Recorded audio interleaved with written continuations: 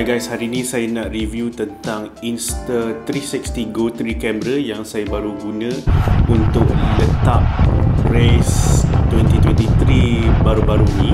And also sekali nak cakap tentang bike bundle yang saya beli ni. Dan saya nak bagi saya punya feedback honest review tentang dua produk ni. Jom saya cerita tentang kamera Insta360 Go 3 ni. Ok jom kita buka kotak ni bestnya action camera ni sebab dia ada banyak jenis form tau. Bestnya kamera ni dia ada banyak jenis form. So dia boleh form yang macam ni. Maksudnya kita boleh tengok screen dan kita boleh tukar ratio dia nak full video untuk YouTube ataupun nak video untuk Insta story ke boleh play 916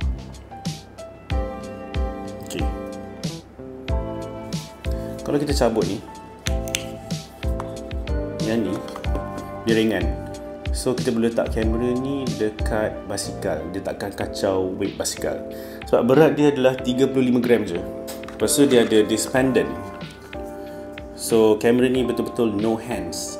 Kita boleh lekat je ke sini. Ini dalam baju. So bila letak dalam baju yang ni dekat luar pula ok so pendant ni kita masukkan dalam baju.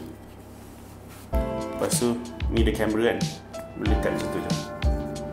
Automatic. And then kita boleh record. Tekan dua kali. Ataupun sekali. Korang boleh set lah.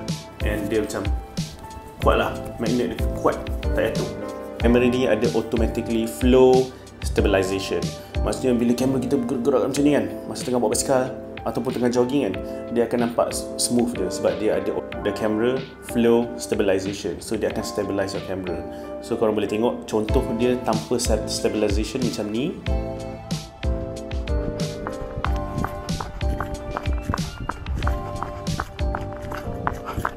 Dan bila dah stabilize the video akan jadi macam ni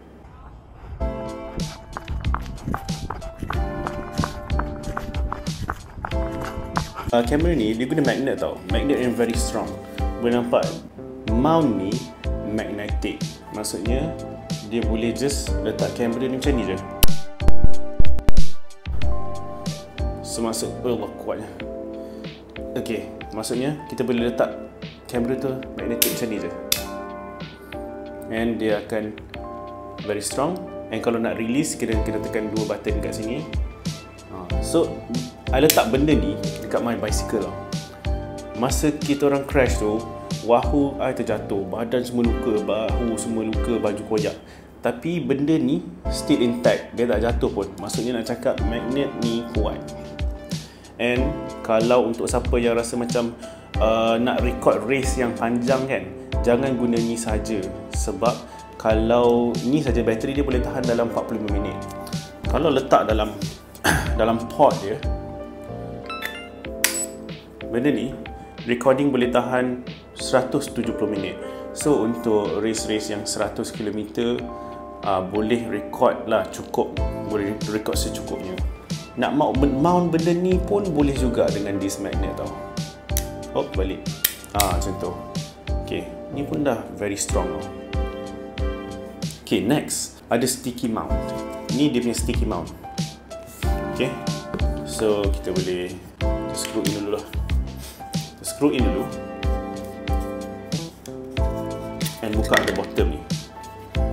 Yang bawah ni dia macam sticky mount tau dia melekat lah sticky. So kita macam ni dulu. Dia dinding ke mana-mana kita just lekat je dia kata bila dah dah stick selama 10 minit dia akan uh, apa dia akan very strong. Tapi saya baru letak beberapa saat je dia dah dah cukup ni okey. Ha. So dia very strong. Jadi kita boleh record lah macam ni pula macam ni je.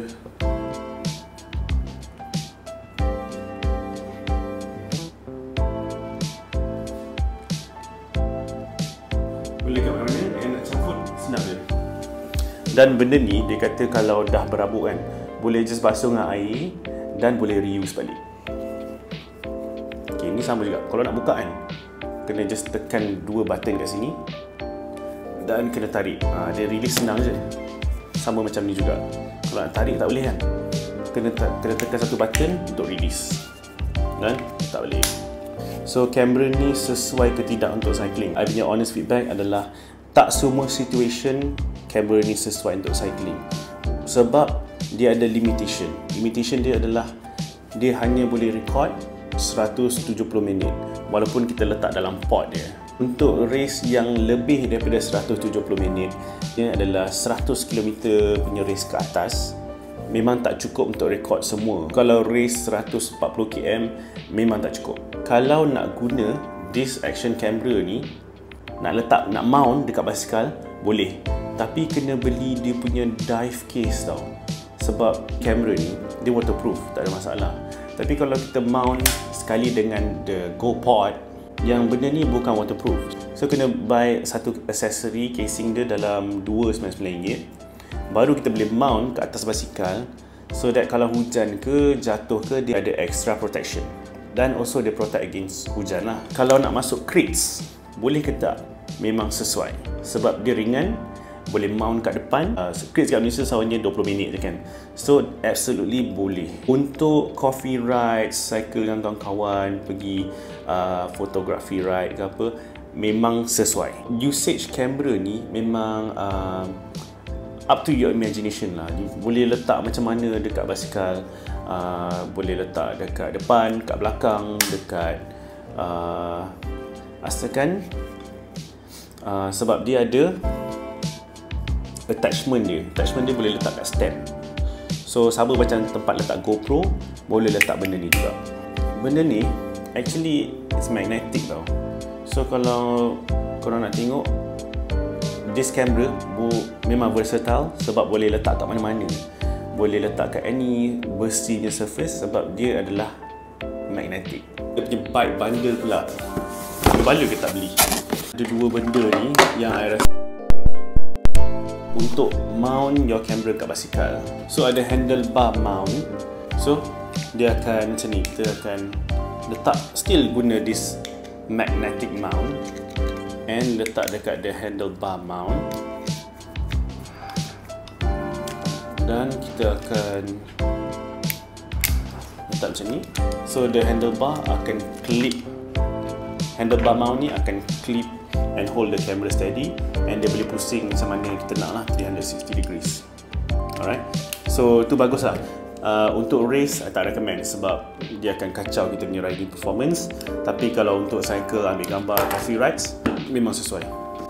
Second dapat dia punya chest strap.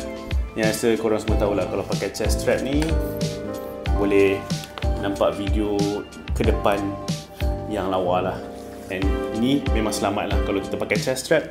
Letak kamera ni dekat chest strap. So that's about it pasal kamera Insta360 Go 3 ni.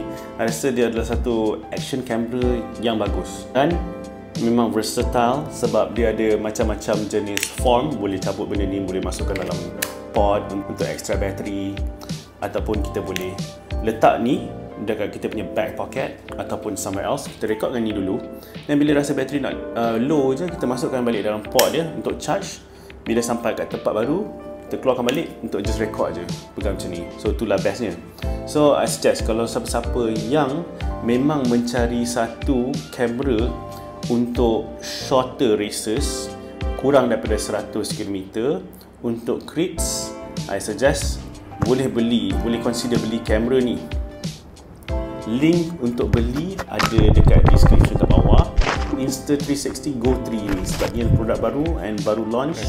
Ada macam-macam uh, usage kita boleh guna kamera ni. Itu je lah my honest review. Lepas dah guna Insta360 Go 3 ni selama 2 minggu dan dah pernah guna untuk race pun. Harap membantu and beli dekat link description kat bawah. Ok bye